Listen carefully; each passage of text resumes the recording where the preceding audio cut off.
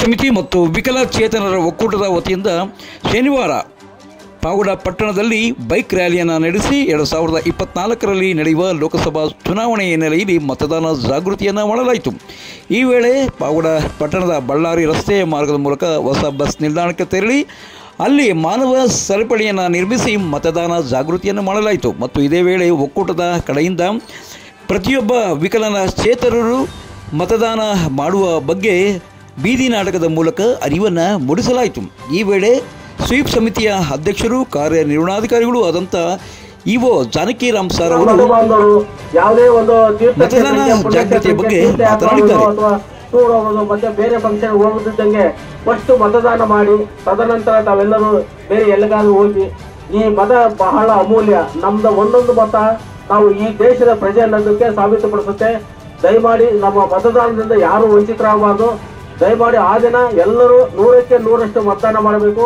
ಯಾಕಂದ್ರೆ ನಾವು ಮತದಾನ ಮಾಡಿದ್ರೆ ದೇಶದ ಹಿತ ಇರ್ತದೆ. ನಾವು ನೂರ ನಲವತ್ತು ಕೋಟಿ ಜನರಲ್ಲಿ ನಾವು ಒಬ್ರು ಅಂತಂದ್ರೆ ನಾವು ಮತದಾನ ಮಾಡಿದಾಗ ಮಾತ್ರ ಅದು ಸಾಧ್ಯ.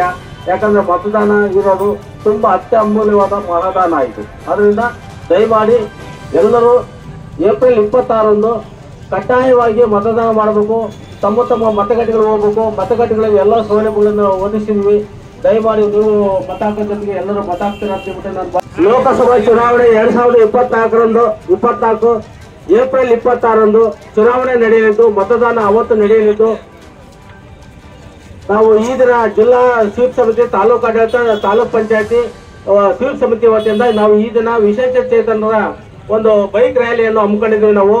ಇದು ಮುಖ್ಯ ಮುಖ್ಯ ಉದ್ದೇಶ ಇಷ್ಟೇ ಈ ಸಾರಿ ನಮ್ಮ ಲೋಕಸಭಾ ಚುನಾವಣೆಯಲ್ಲಿ ಎಲ್ಲ ಮತದಾರರು ನೂರಕ್ಕೆ ನೂರಷ್ಟು ತಮ್ಮ ಮತ್- ತಮ್ಮ ತಮ್ಮ ಮತಗಟ್ಟೆಗಳಿಗೆ ಹೋಗ್ಬಿಟ್ಟು ನೂರಕ್ಕೆ ನೂರಷ್ಟು ತಾವು ಮತದಾನ ಮಾಡಬೇಕು.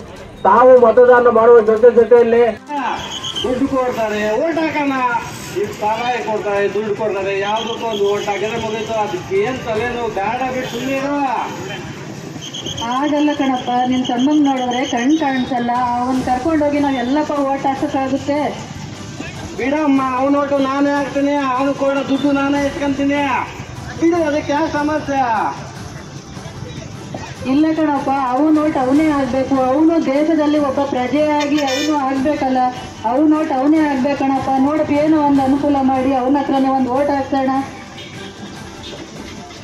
ಈಗಮ್ಮ ನನಗೆ ಗೊತ್ತಿಲ್ಲ ನಿಮ್ಮ ನ್ಯೂಯಾರ್ಡ್ಲ್ಲ ಸಹ ಬರ್ತಾರಲ್ಲ ಅವ್ರನ್ನೇ ಮಾತಾಡ್ತಮ್ಮ ಹಾ ನಮಸ್ತೆ ಕಣ ಚೆನ್ನಾಗಿದ್ದೀರಾ?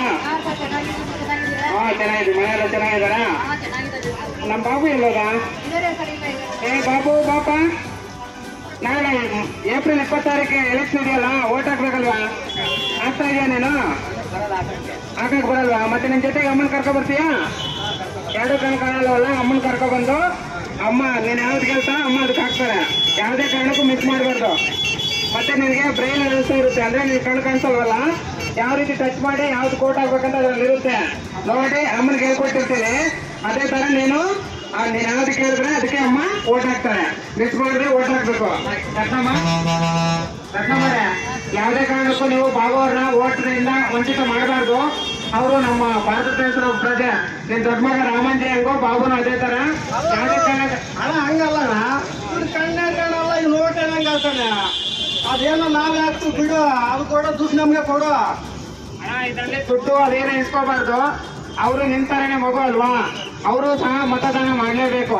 ಅವ್ರ ಒಟ್ಟು ಅವರೇ ಹಾಕ್ಬೇಕು. ಯಾವುದೇ ಕಾರಣಕ್ಕೂ ಬೇರೆಯವ್ರು ಹಾಕಕ್ ಬರಬಾರ್ದು. ಯಾವುದೇ ದುಡ್ಡು ಇಸ್ಕೊಳ್ಳೋದು ಅಥವಾ ಯಾರು ಎಣ್ಣೆ ಕೊಡ್ತಾರೆ ಇದಕ್ಕೆಲ್ಲ ನೀವು ಮೋಸ ಹೋಗ್ಬಾರ್ದು. ದಯವಿಟ್ಟು ಮತದಾನ ತಪ್ಪನೆ ತಪ್ಪದೆ ಮಾಡ್ಬೇಕು ಆಯ್ತಾ? ರಕಮ್ ಆಯ್ತಾ? ಮಿಸ್ ಮಾಡಿ ಮಾಡಬೇಕು. ಅಲ್ಲ ಈಗ ಇವು ನೋಟ್ ನಾವು ಹಾಕಿದ್ರೆ ಕೇಸ್ ಆಗುತ್ತೇನೋ? ಹೌದು ಹೌದು. ಖಂಡಿತ ಕೇಸ್ ಆಗುತ್ತದು. ಶಿಕ್ಷಣ ನಿಮ್ಗೆ ಆರು ತಿಂಗಳು ವರ್ಷ ಜೈಲು ಶಿಕ್ಷಣ ಆಗ್ಬೋದು. ಮತ್ತೆ ಒಂದು ಇಪ್ಪತ್ತರಿಂದ ಮೂವತ್ತು ಸಾವಿರ ದಂಡ ಆಗ್ಬೋದು.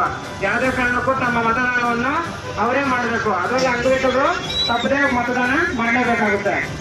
ಮತ್ತೆ ಈಗ ದುಡ್ಡು ಇಟ್ಕೊಂಡು ಸಾರಾಯಿ ಕೊಡ್ದು ಓಟ್ ಹಾಕಿದ್ರೆ ಅದಕ್ಕೂ ಶಿಕ್ಷೆ ಅಲ್ಲ? ಖಂಡಿತ ಆಗುತ್ತೆ. ಯಾವುದೇ ಕಾರಣಕ್ಕೆ ನೀವು ಹಣಕ್ಕಾಗ್ಲಿ ಮತ್ತು ಮದ್ಯಪಾನಕ್ಕಾಗ್ಲಿ ನೀವು ಬಲೆ ಆಗಬಾರ್ದು. ಅರ್ಥ ಆಯ್ತಾ ಇದೆಲ್ಲ ಕಾನೂನು ಬಾಹಿರ ಹೌದೌದು ಖಂಡಿತ ಕಾನೂನು ಬಾಹಿರ ಈ ತರ ಮಾಡೋದು. ಸರಿ ಅಣ್ಣ, ಈಗ ನಮಗೆ ಬುದ್ಧಿ ಬಂದೈತೆ, ನೀವು ಹೇಳೋದಕ್ಕೆ. ಇನ್ನು ಮೇಲೆ ಯಾವ್ದಾಗೂ ದುಡ್ಡಿಸ್ಕೊಳ್ಳಲ್ಲ, ಸರ, ಎಣ್ಣೆ ಕುಡಿಯಲ್ಲ, ಯಾವುದೇ ಹೆಣ್ಣು ಕೊಟ್ಟು ತಗೊಳ್ಳಲ್ಲ ನಿಯತ್ತಾಗಿ ಓಟ್ ಹಾಕ್ತೀನಿ.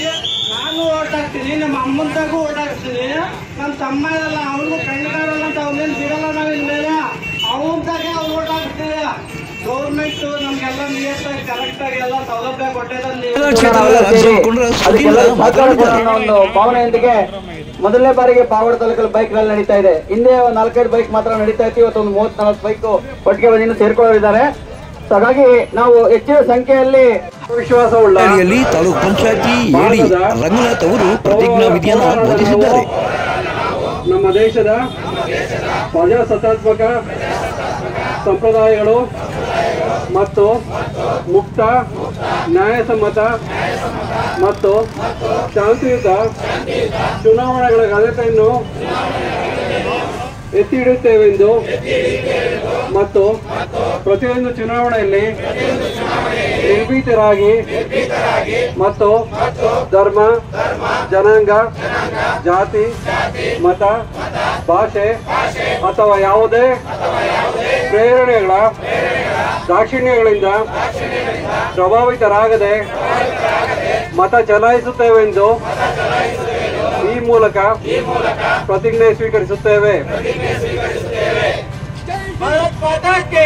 ಇನ್ನು ಈ ವೇಳೆ ಪಾವಡ ಪುರಸಭೆಯ ಮುಖ್ಯಾಧಿಕಾರಿ ಶಂಶುದ್ದಾಹ ತಾಲೂಕು ದೈಹಿಕ ಶಿಕ್ಷಣ ನಿರ್ದೇಶಕ ಬಸವರಾಜು, ತಾಲೂಕು ಪಂಚಾಯತಿಯ ಪ್ರಥಮ ದರ್ಜೆ ಸಹಾಯಕರಾದಂಥ ಗಂಗಾಧರ್ ಮತ್ತು ಶ್ರೀಕಾಂತ್ ಹಾಗೂ ಅಂಗವಿಕಲರ ಒಕ್ಕೂಟದ ಮುಖಂಡರುಗಳು ಭಾಗವಹಿಸಿದರು. ಇಲ್ಲಿಗೆ ನಮ್ಮ ಇಂದಿನ ವಿಶೇಷ ಸಂಚಿಕೆ ಮುಕ್ತಾಯವಾಯಿತು ನಾಡಿನ ಮುಂದಿನ ಸಂಚಿಕೆಯೊಂದಿಗೆ ಕ್ಯಾಮ್ರಾ ಪರ್ಸನ್ ಅನಿಲ್ ಮಹಾದೇವ್ ಜೊತೆ ಸತ್ಯ ಲೋಕೇಶ್ ಪಾವಡ ಪವರ್ ನ್ಯೂಸ್